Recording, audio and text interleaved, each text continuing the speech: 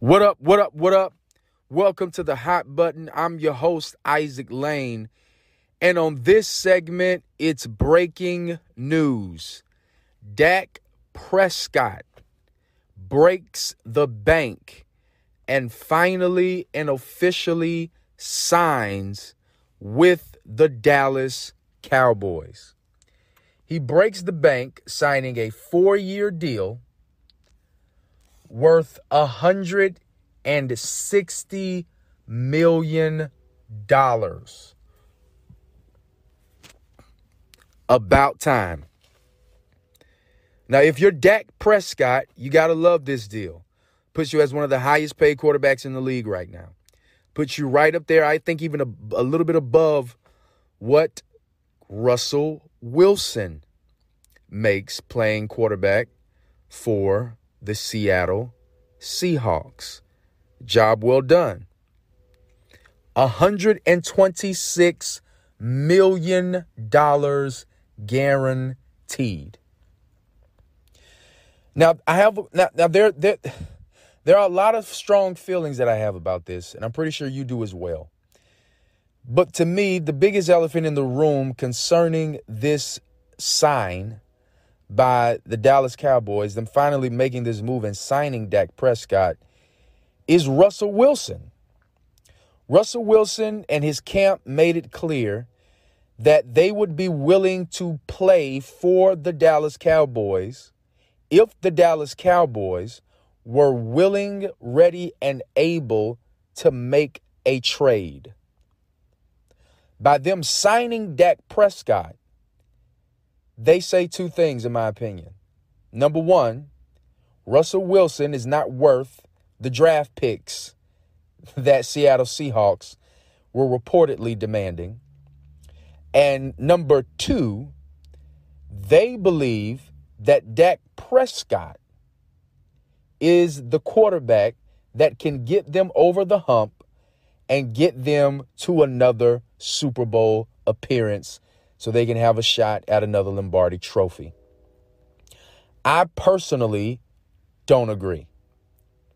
Yes, Dak Prescott has had an impressive four or five years, four full years, uh, where he he thrown he, he threw for uh, over 3,500 yards in 2016, a little under 3,500 in 2017, threw for almost 4,000 in 2018, threw for almost 5,000 in 2019, and was on track for a 5,000 yard season before the injury last year. Another thing about Dak Prescott is he doesn't turn the ball over a lot.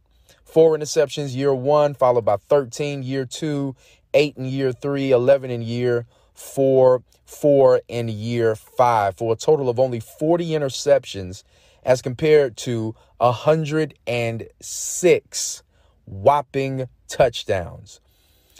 Uh, he is a quarterback who you can trust in the regular season. You can trust him to not turn the ball over.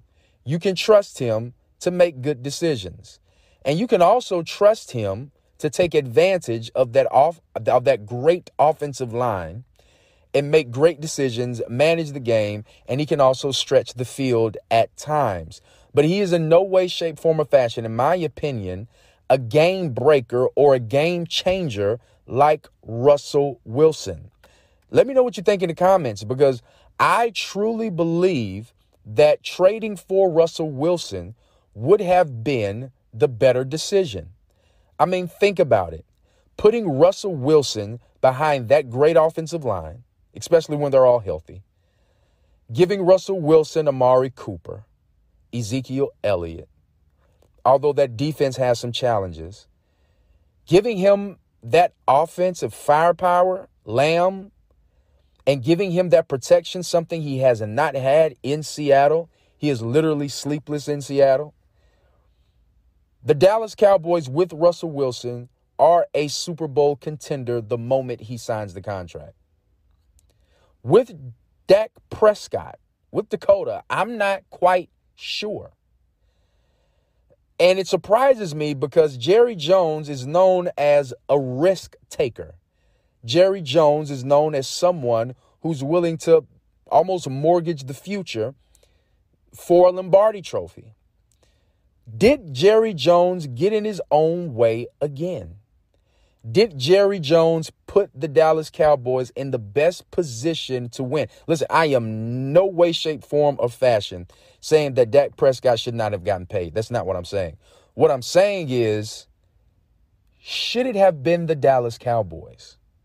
Should the Dallas Cowboys have pulled the trigger and made that trade for Russell Westbrook?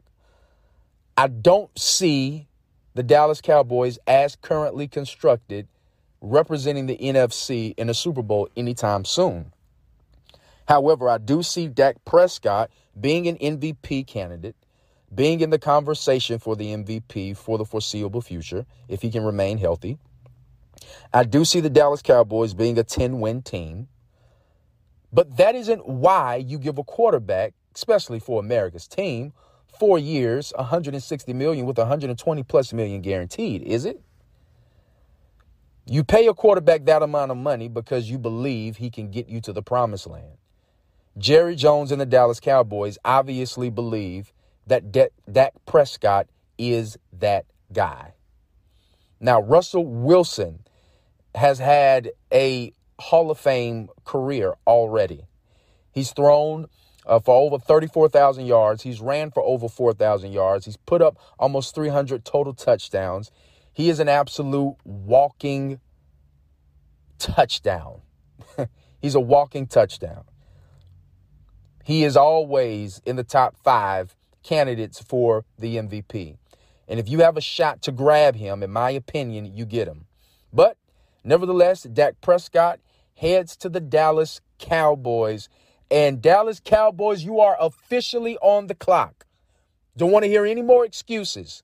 You have your quarterback now. It is officially Dak Prescott. Jerry Jones and the Cowboys organization have completely bought in to what Dak Prescott has been selling. Now, can you guys get over the hump?